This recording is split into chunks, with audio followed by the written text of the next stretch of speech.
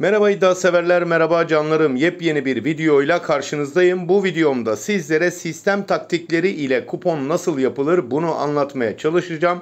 Sizler için yazı dizimi hazırladım.